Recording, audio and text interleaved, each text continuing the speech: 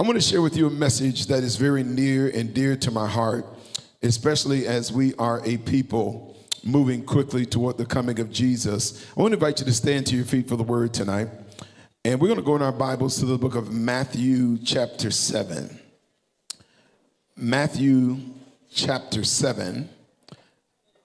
And we're going to look together at verse number 15, and we'll skip throughout the chapter. Matthew, chapter 7 and verse 15. When you get there, let me hear you say amen. Matthew 7 and verse 15. Y'all not tired, are you? Amen.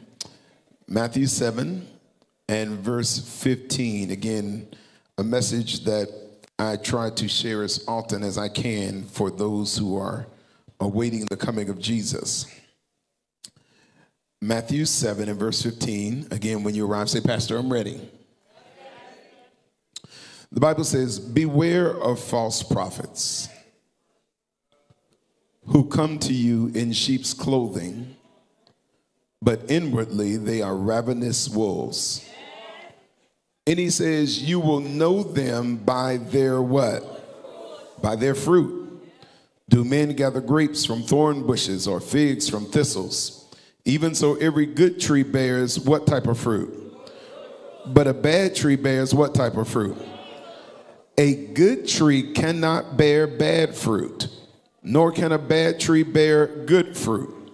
For every tree that does not bear good fruit is cut down and thrown into the fire. Therefore, by their fruit will you know what? Them. Then Jesus says, Not everyone who says to me, Lord, Lord, shall enter the kingdom of heaven, but he who what? Does the will of my Father in heaven. And then in verse 24 is where we'll settle tonight. Therefore, whoever hears these sayings of mine and what? And does them, I will liken him to a wise man who built his house on the rock.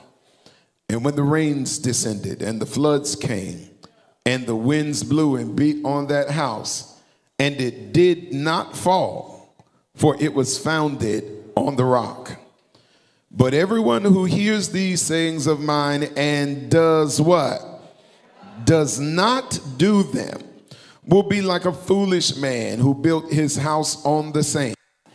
And the rains descended, and the floods came, and the winds blew and beat on that house, and it fell, and great was its fall. For emphasis, I'm going to read verse 24. Therefore, whoever hears these sayings of mine and does them, I will liken him to a wise man who built his house upon the rock. Tonight, saints, for just a little while, I want to talk to you under the subject the power is in doing. Tell your neighbor, the power is not in hearing it, it's not in saying it it's in doing it. Let's pray together tonight. Father, I pray that you would grant me permission to attach my human weakness to your divine strength. Father, we have gathered here tonight not for form or fashion, not because of ceremony or tradition, but Lord, we need to hear from you. And so, Father, we pray for a rare and distinct visitation of your spirit. Lord, I pray that you would give me strength to preach the word, but then give your people the faith and courage to hear and act on the word. So, Lord, would you hide me in the shadows of the cross that Jesus alone might be seen, that Christ alone might be heard, and at the end of our time together, may Jesus alone be praised. Bless us to this end, we ask. In the wonderful name of Jesus, let those who believe say together, Amen and Amen. You may be seated in the house of the Lord. Again, talking to you on the subject, the power is in the doing. You know, saints, about, I guess about 15 years ago, there was a fitness craze that raced through the United States. Fitness guru Tony Horton came up with this 90 day muscle building, fat burning program, and he simply titled it P90X. And what made it different, at least in theory, is that it was supposed to be holistic in nature. You would get these exercise videos. You would get protein shakes. You would get a uh, dietary guide. You would become a part of a fitness community. And, Saints, I remember convincing my wife that if she let me pay $200 for this program, that she would see a thin, lean version of her husband. And, Saints, I want you to know that I watch these videos very carefully. I read the instructions repeatedly. I listened to the testimonies intently, but I'll be honest with you, I came up a little short on doing the exercises themselves. And the strangest thing is, church, I didn't lose any weight by watching them exercise. I didn't get stronger by just reading the instructions. Having my name on the roll profited me nothing. And the crazy thing is, I saw what I was supposed to do. I read what I was supposed to do. I said what I was going to do, but I got no benefit because I didn't actually do it. And I guess, saints, what's true in the world of fitness is also true in the world of worship. Because the truth is that we come to church and hear what we're supposed to do. We read the Sabbath school lesson and study what we're supposed to do. We come and declare what we're going to do. But the reason we leave unchanged is because we don't actually do it. And I guess what I'm saying, saints, is that there is no power in saying what you're going to do. There is no strength in listening to what you ought to do. You get no benefit until you actually practice it or put it into doing. Are y'all hearing me tonight? And so go back with me, if you don't mind, to Matthew chapter 7. Here we find Jesus concluding what becomes known as the Sermon on the Mount. And though the sermon recorded is only three chapters, Ellen White says that this sermon was the length of an entire day. And yet the people sit there spellbound, not wanting to miss a single syllable that falls from the mouth of the master. In other words, this word is like finding an oasis in the middle of the desert. And even though they are hungered, they sit still and they are fed by the word that comes from the mouth of Jesus. And as Jesus brings this sermon to a close, he begins to make a distinction between multiple types of believers. First, he makes a distinction between those who cry, Lord, Lord and those that do the Father's will. Then he makes a distinction between those that hear the word and those that put it into practice. And in summation, what Jesus is teaching us is that there is no power in lip service just talking about the word, and there is no power in observation just listening to the word. There is no benefit until you put it into practice. And see, Jesus knew that there would come a time where the church would be real good at hearing and affirming the truth, but where we would struggle is living and putting the truth into practice. In other words, Jesus is saying there are a lot of amens in church, but very little doing after the benediction. But it would be better if there were less amens in the church and more doing once you got home. In other words, I need you to know what good is it for you to hear a message on forgiveness if you're going to hold a grudge against everyone that's done you wrong? What good is it to hear a message on the last days if we're going to live as if Jesus is not coming in our lifetime?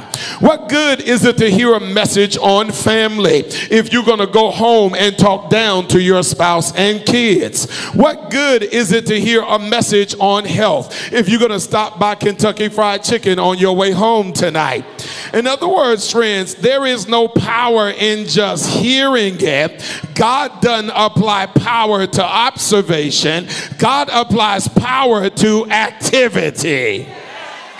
Oh, okay, let me say it this way. I, I remember a while back, friends, I was going uh, to visit one of my sick members. I live in Huntsville, Alabama, but this member lives in Pulaski, Tennessee. It's about an hour and a half from where I live. And so I drive way up into the mountains and down this dark country road. And when I get to her home, there are no lights on on the outside or the inside. And, and when I begin to get out of the car, I get a little bit nervous because the grass comes all the way up to my thighs. And I'm one of those brothers that has a bad relationship with snakes. Do I have a witness tonight?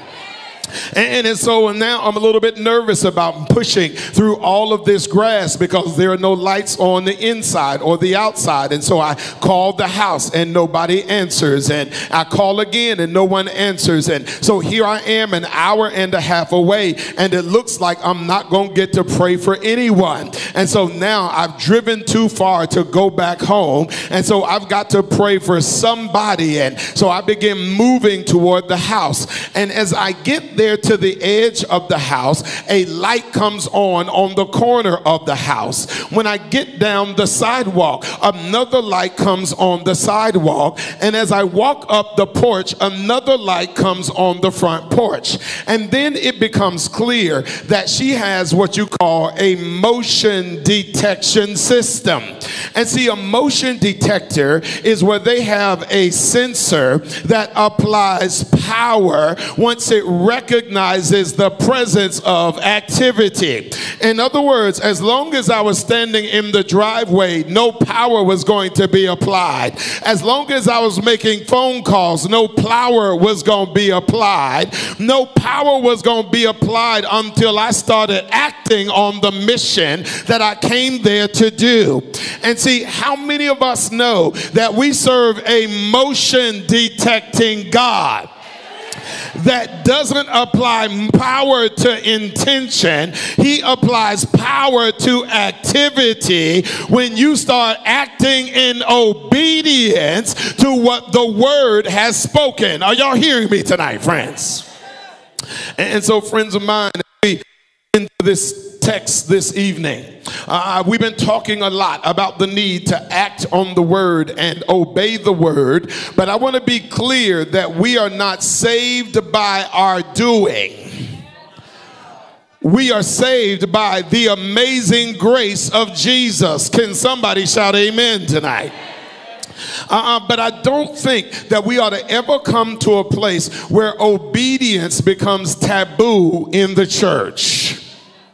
But as you look at this text, I want you to notice what we read there in Matthew chapter 7. I need you to notice how Jesus frames our doing or our obedience. Did you notice that he frames our doing as fruit and not seed?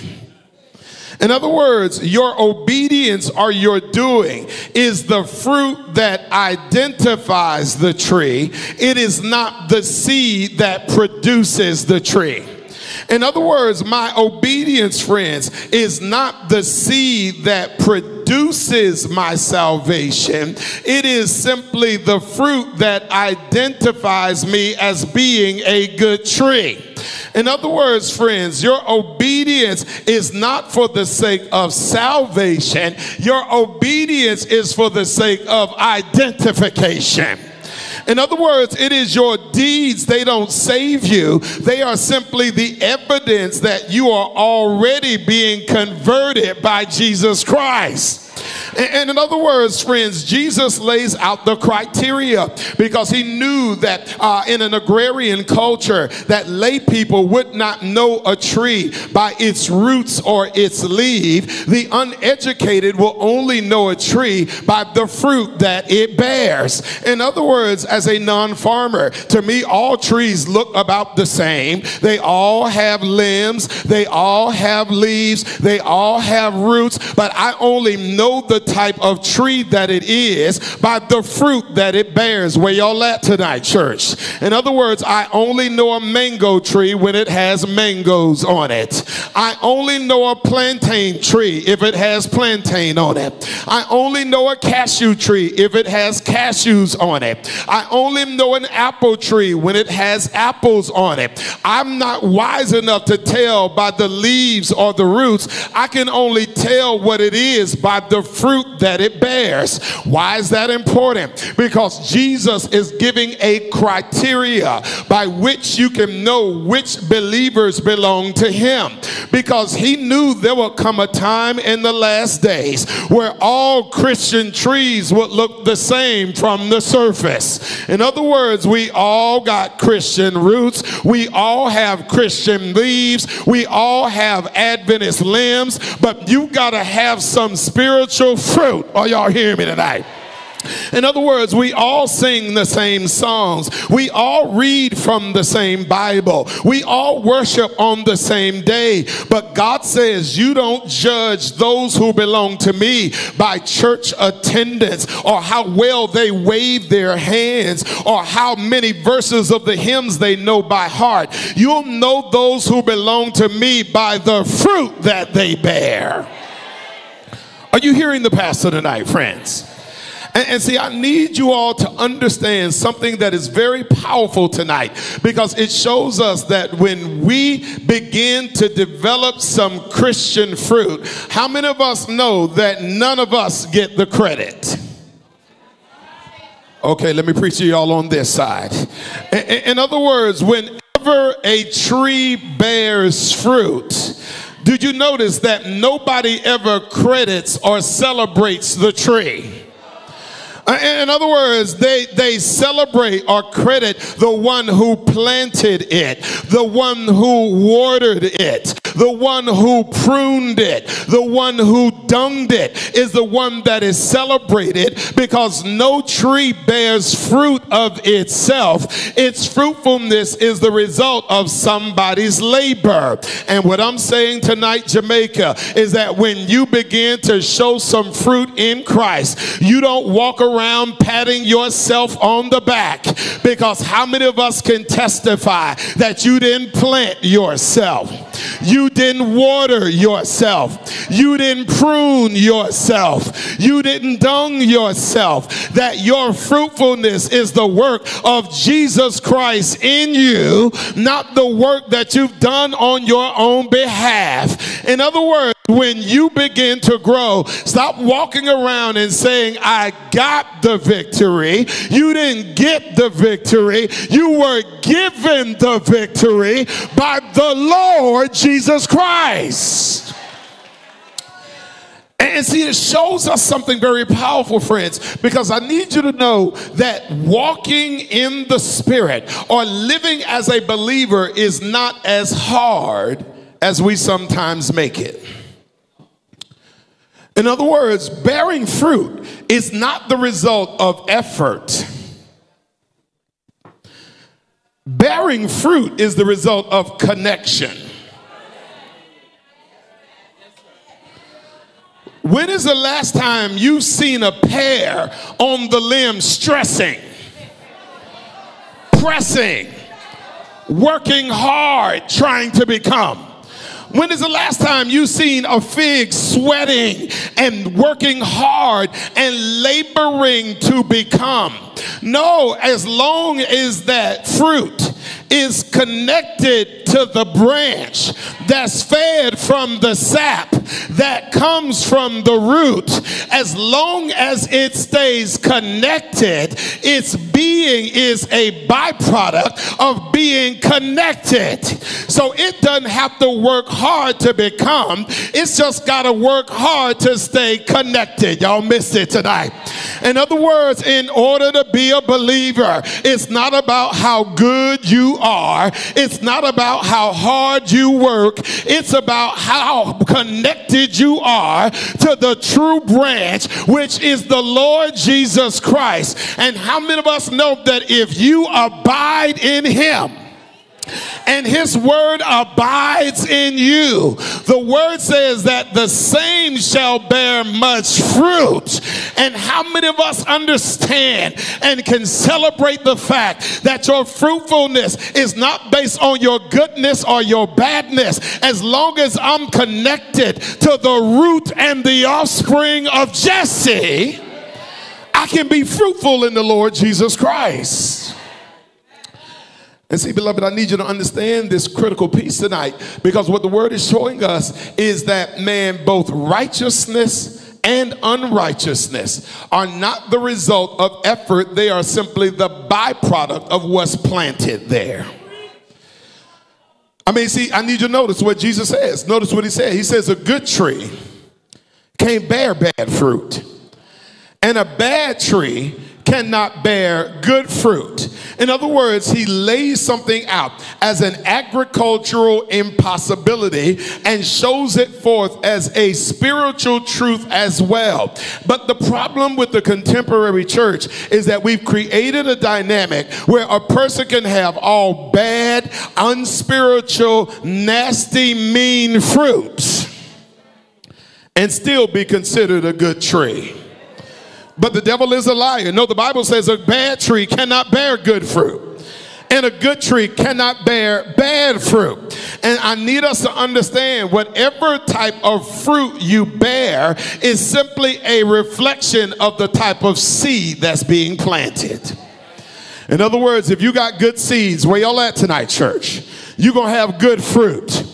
If you've been born of the imperishable seed of the Word of God, guess what? You're going to have the fruit of the Spirit. There's going to be love, and there's going to be joy, and there's going to be peace, and there's going to be long suffering, and temperance, and self control. The fruit that is born out is going to reflect the seed that's being planted there. And see, I need us to understand the reason walking with God feels hard is because sometimes we bring our own conflict. Has walking with God or your walk with God ever felt like this? One step forward and three steps backwards where there is a cyclical element to it, where forward progress is hard to maintain. And the reason it's difficult is because sometimes we bring our own conflict to the situation. It's because we try to plant seed that's not compatible in the same stretch of the heart. In other words, we try to start the day before the throne, but then we end the day with Game of Thrones. We, we start the day with living water, but we end the afternoon with the tea of gossip. Y'all mighty quiet tonight. Where we start the day with the morning hymns, but we end the day with our calypso. Y'all, y'all mighty quiet this evening. In other words, we introduce our own conflict to the scenario where that which we introduce in the evening dilutes that which we plant in the morning. And we wonder why it's so hard to make progress. It's because we're trying to occupy in both worlds. But I need you to know religion is not hard, it's only difficult when you try to merge two spaces that are fundamental incompatible. Are y'all hearing the word tonight, friends?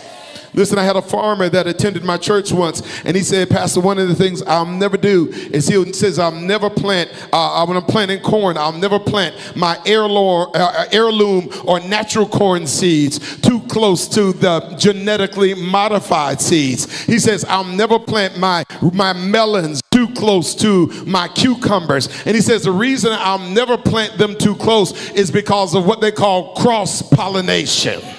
He says, if the pollen from the genetically modified corn gets on the natural corn, he says it will convert the natural corn seed and the natural seed will take on the color and the texture and the taste of the fake or genetically modified seed if I plant the two seeds too close together. And see, the reason we have spiritual cross pollination is that we have been born again of the natural seed of the Word of God, but then we try to plant the seeds of this passing world in the same heart. And what happens is the spiritual seed gets converted. And even though we were born of the Spirit, after a while we look like the world and taste like the world and sound like the world because we're trying to make something agree that should always be in opposition. Are y'all hearing the word tonight, friends? And so the word says to us that Jesus now begins to make the distinction between a hearer, doer, and he does it in terms of results. He says, Those that hear the word, I will liken them. Are y'all still with me, church? To a wise builder who, when he goes out, he does not put his money in finishes, but he puts his money in infrastructure. He does not build on the surface of the beach, but he digs deep until he strikes bedrock. And his house may not be as outwardly opulent, but it is firm because it is built on the foundation. And he says there's going to come a day when the rain falls and the wind blows and the floods rise, but the house is able to stand because it is built upon the rock. But then he says, Those that hear the word but do not put it into practice. I will liken him unto a foolish man who finds beachfront property but does not put his money in infrastructure. He puts it all in finishes. He's got designer tiles and specialized carpet, and he's got man unique windows, and he's got all types of things that look good. But the problem is that he built his house upon the surface. He did not dig deep until he found a solid foundation. But the problem is, one day the rain fell, the winds began to blow the streams begin to rise. And the Bible says that that house fell and great was its fall. Why? Because it was not built on a strong foundation. And I guess what I'm saying to somebody today, I need you to notice this that both houses go through the same storm.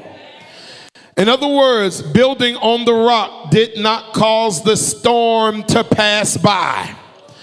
Building on the rock simply gave him the infrastructure to be able to withstand the times of storm that are inevitable for us all. Are y'all hearing the pastor tonight? See, see, how many of us understand that serving God doesn't make you exempt from storms? Uh, can I go so far as to say that serving God doesn't make you exempt from storms, but sometimes serving God is going to guarantee some storms.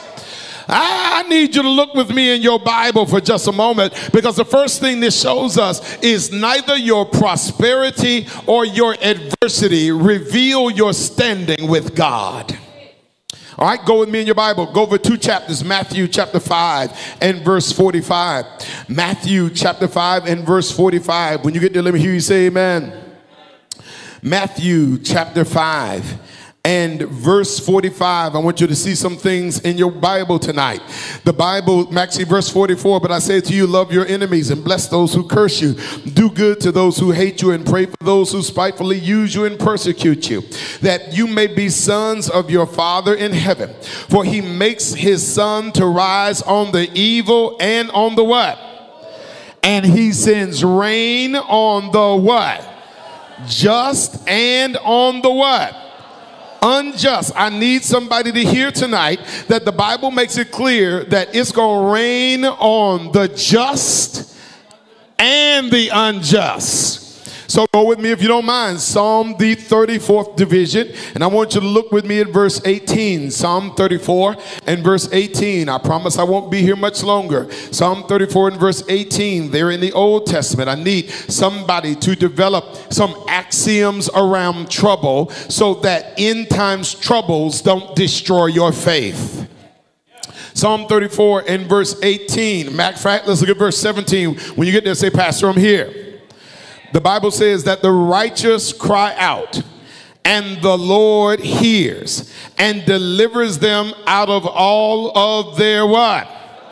The Lord is near to those who have a broken heart and saves such as have a contrite spirit. Watch this.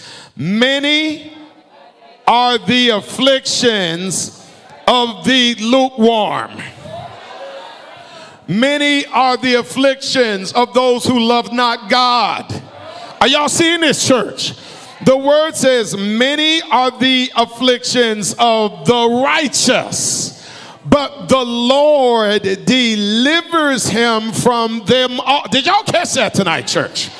In other words, I need you to develop a different barometer for how you uh, measure the closeness of God in your life.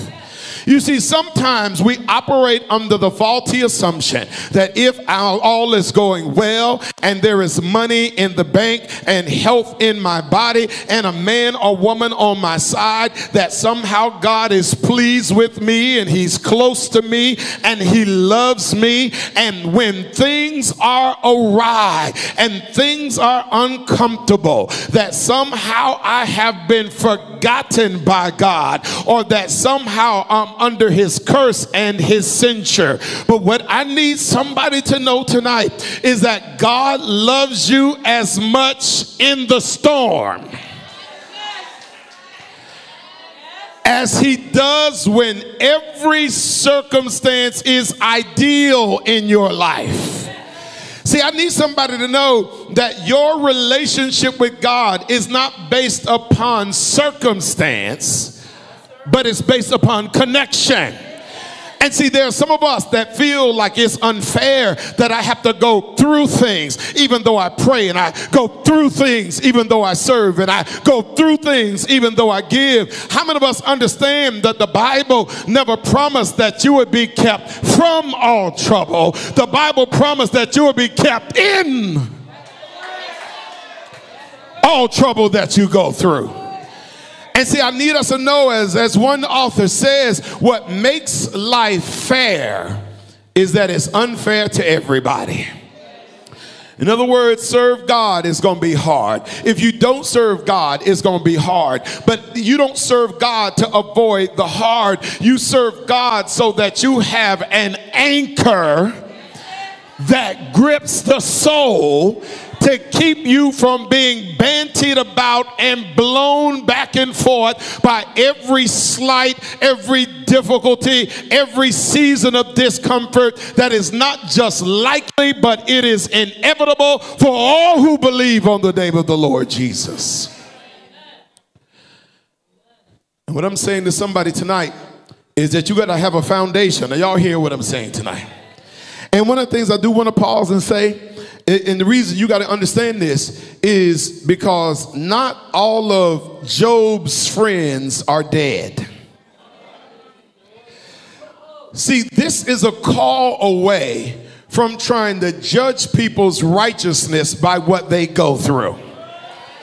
In other words, where does it say that all who live godly in Jesus are going to only have good days, good weathers, harvest, breakthrough, and deliverance? No, the Bible says many are the afflictions of who? The righteous. In other words, I need you to know that the righteous get sick too.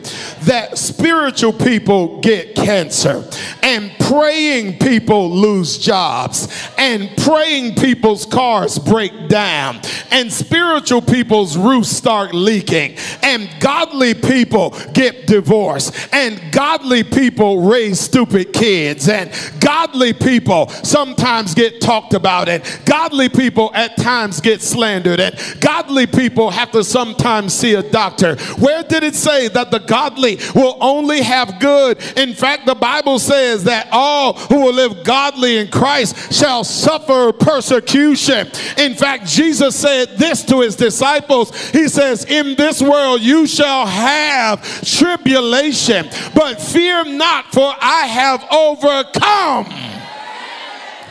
I've overcome the world. And what I'm saying to somebody tonight, and one of the things I've learned, friends of mine, is that sometimes when you're going through a difficult season, sometimes we ask the wrong question. But what I've learned, saints, is that when you ask the wrong question, you get the wrong answer. See, sometimes we want to know why I'm going through it. But I need you to know that even if God told you the why in the present, it would not make the difficult any less difficult. You don't need to ask why, you need to ask where does my help come from?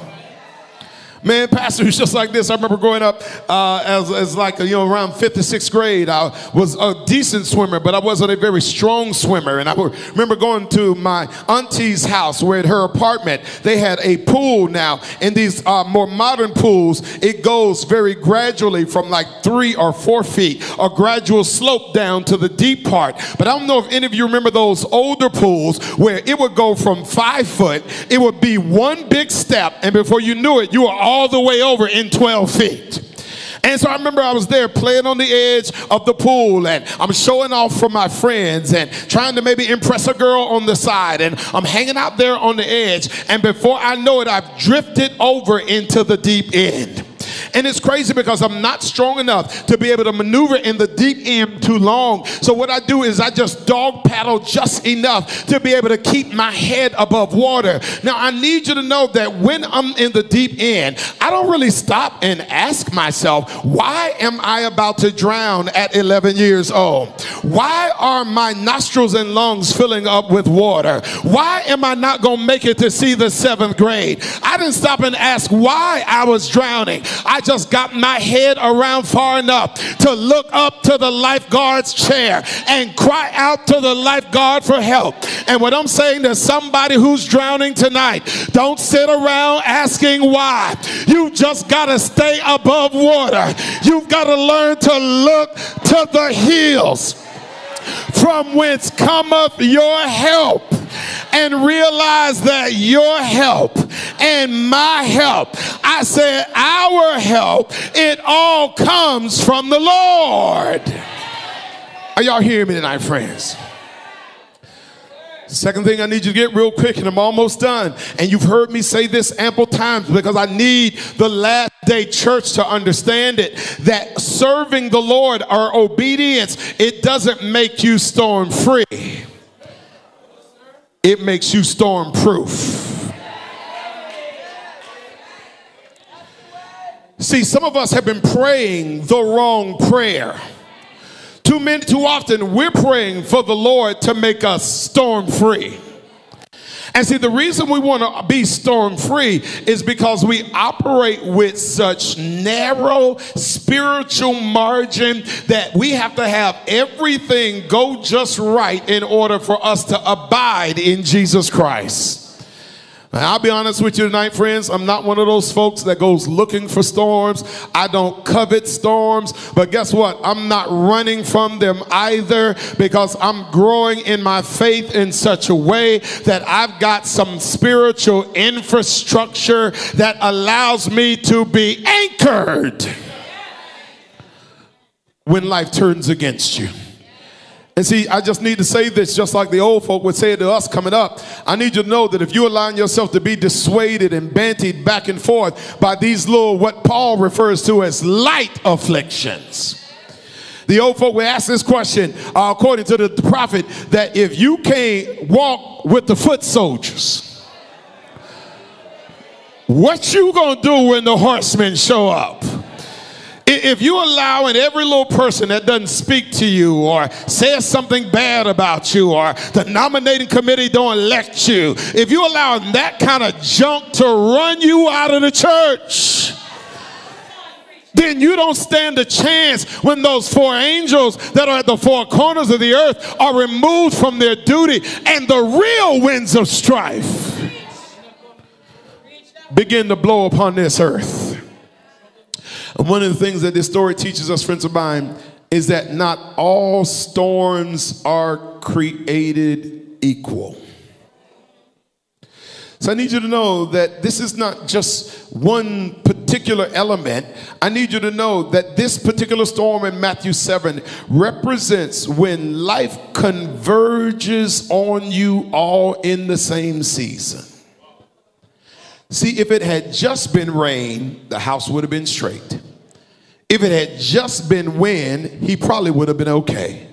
If it had just been a little flooding at the base of the hill, he probably would have been okay. But the issue is that the rain falls, which causes the flood to rise, which gives strength to the wind when it begins to push upon the house. In other words, it would be nice if there was only one element of difficulty at a time. But how many of us have been in the spiritual warfare long enough to know that the enemy of our souls, Satan, that he is not considerate of your feelings. It would be nice if he let you get through one trial and get a season of rest before he sent the next trial. But how many of us know that the great adversary of your faith has no ethics to his warfare? He does not fight fair. He will send the rain and the wind and the floods in the exact same season of your life.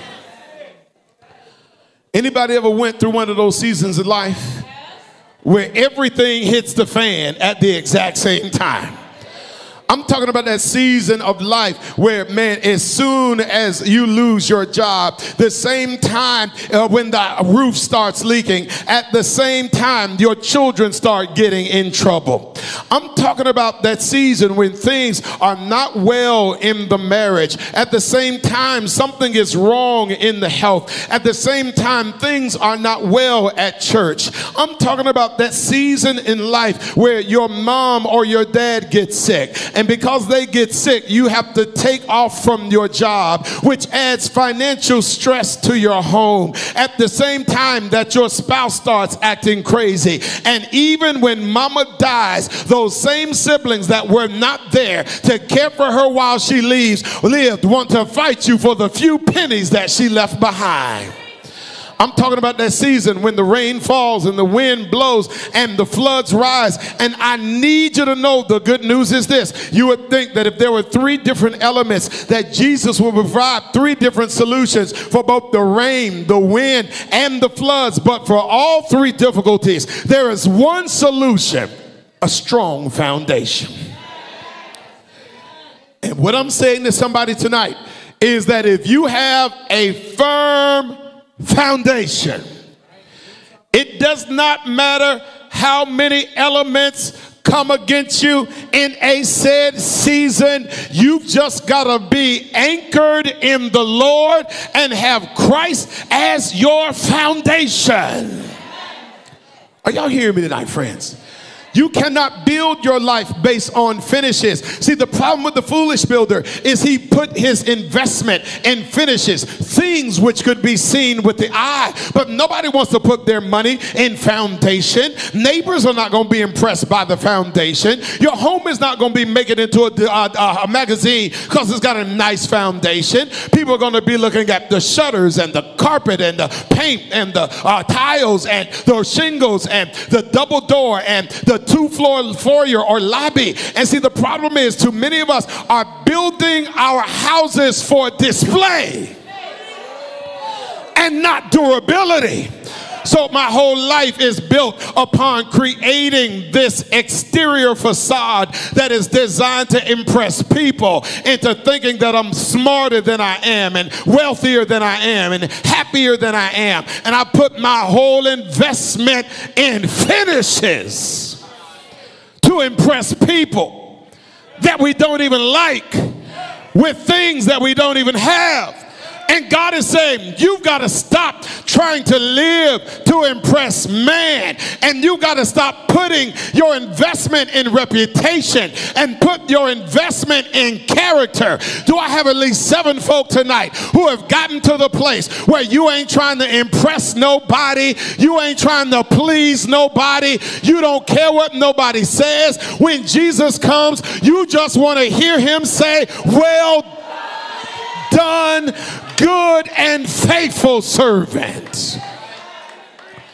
Are y'all hearing the word tonight?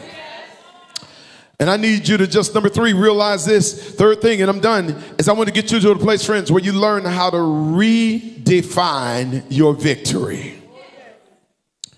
You see, I need you to understand that the victory for the wise builder is not that he was storm free. It's not that he was rain free.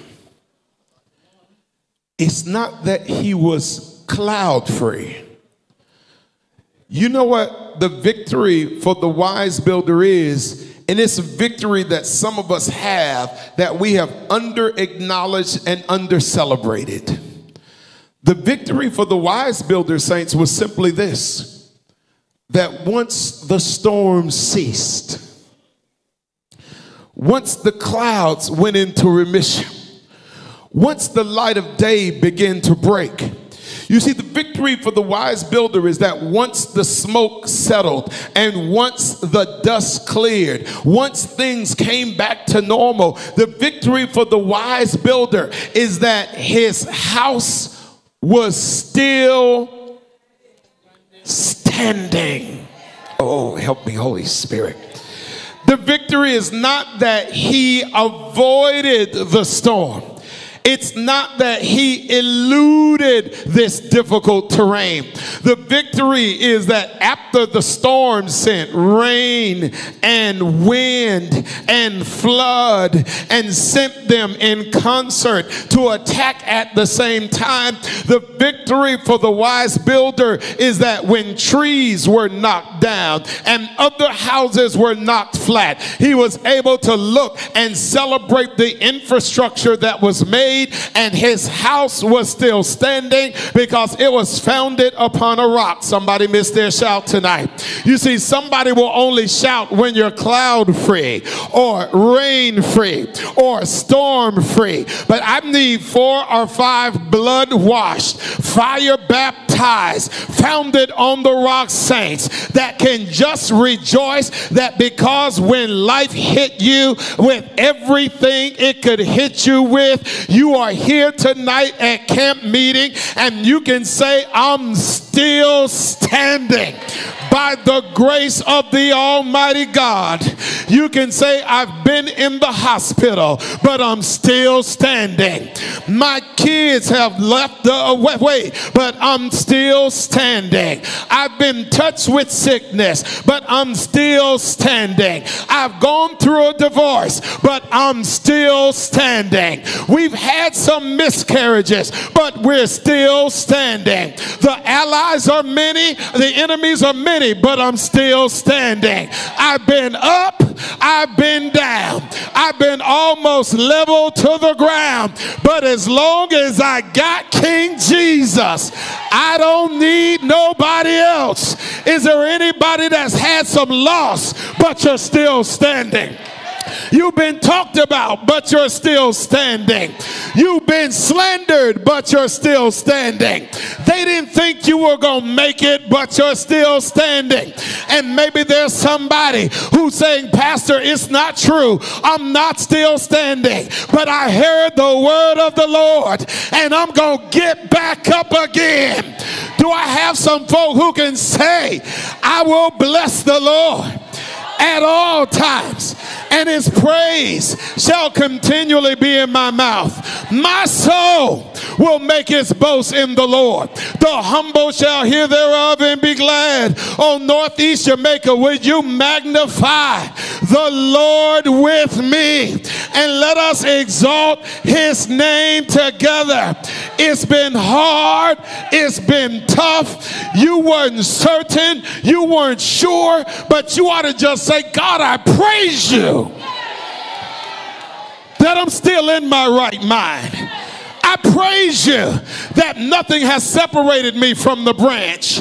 I praise you that I'm still fighting the good fight and running the good race. I'm going to put those things in the past behind and press on to those things which are before.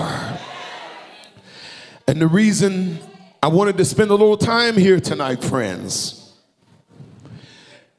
is because if we're going to be ready for the coming of the Lord, you can't just have last day truth.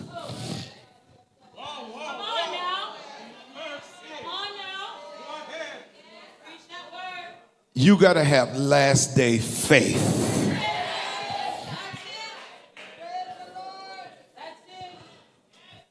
We will have to trust God in a way that no generation has had to trust him since the days of the apostles. And it's funny, it's going to be a shock to the system because we have been rocked to sleep by the lukewarm lullaby of the Laodicean comforts of life that have made us rich and increase with goods to the point where we feel like we have need of nothing. And see, friends of mine, this is why, even though no trial is comfortable and no trial is good and no trial is something necessarily in, in the moment to be celebrated, but you ought to thank God for these early trials. Because remember, see, see, the storm did not strengthen the house that was built on the rock. All it did, all the storm did was reveal where folk had been building. And see, we walk around and we say, man, trials build character. No, they don't. Your response to trial is revealing to you whether you live in your life for finishes or whether there's enough infrastructure to help you abide the time of trouble that shall be unlike any other time since there was a nation. I'm talking about that time of trouble that the prophet to the remnant church says is going to be so dark and so great that some of us will see the very travail of our souls and we'll wonder whether or not God has forgotten about us. And what I'm saying to somebody tonight is of what the Bible describes as light affliction has us all shaken up and ready to stop praying and ready to stop believing and ready to leave the church. We are not ready for the times of testing that will come upon the entire world. Are you hearing me tonight, friends? And what I'm saying to us tonight, friends of mine, is we've got to get rooted and grounded and settled and cemented in Christ in a way that is beyond culture and tradition or that which is convenient. I want to end this sermon. Uh, Gone are the days where I can get by with just little five minutes of Bible study. No, saints, you need to be opening up the scriptures and sitting before them at times for hours, going line upon line and precept upon precept, here a little and there. Are y'all hearing the pastor tonight? Do you realize that we're coming upon the age where Satan will work with all types of lying wonders and every form of deceit, so much so that he will transform himself as an angel of light? Deceptions and delusions so strong that Jesus says, if it were possible, the very elect would be deceived. I'm talking about beyond the season where, oh, I just pray and, and fall asleep by the bedside. No, I'm talking about getting deep down in prayer praying till your knees hurt praying and just getting lost in the spirit and, and just learning how to call upon the Lord, not just with the hopes that it's going to happen in one day or two, but you learn how to push where you pray until something happens. Are you hearing what I'm saying, church? I'm talking about to the place where in the contemporary church, and maybe this is more stateside than here, where people will come for a sermon, they'll come for a concert. But whenever there's a space where the Bible is opened, or it's just time to pray, saints can't be found. Sabbath school's dying. Prayer meeting is dying. And as one author wrote it, if you want to know how popular uh, the, the pastor is, go to the divine worship service. If you want to know how popular the singing evangelist is, go to the concert. But if you want to know how popular Jesus is, go to prayer meeting.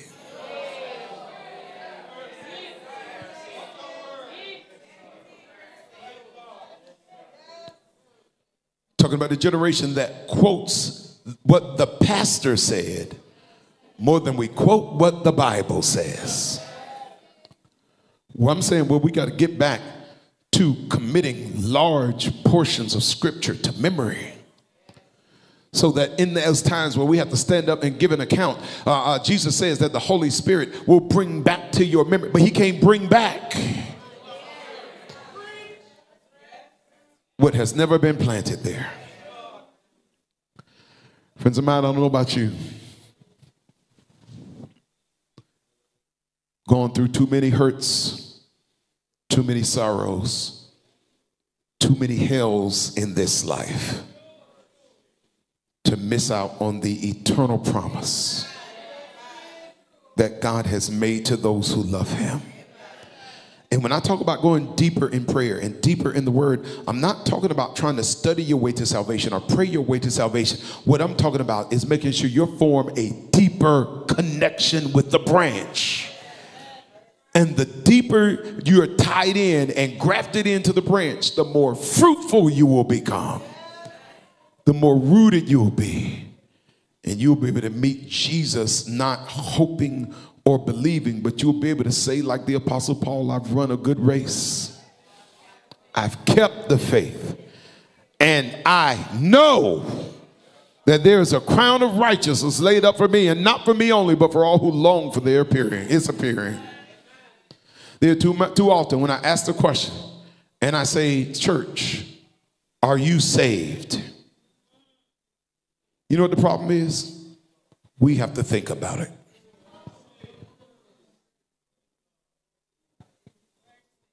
There is too much ambivalence in the house of God, too much uncertainty in the house of God. Why?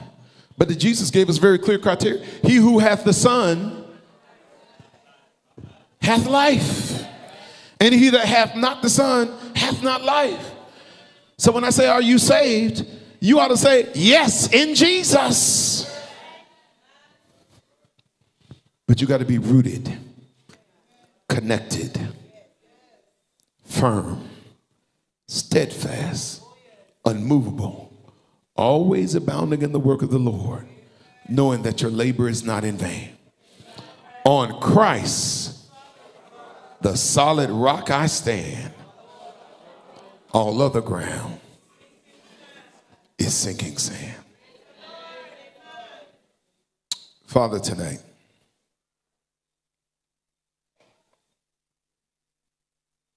my prayer for your people, both those in person and those who are watching online, is that there would be a radical shift in priority.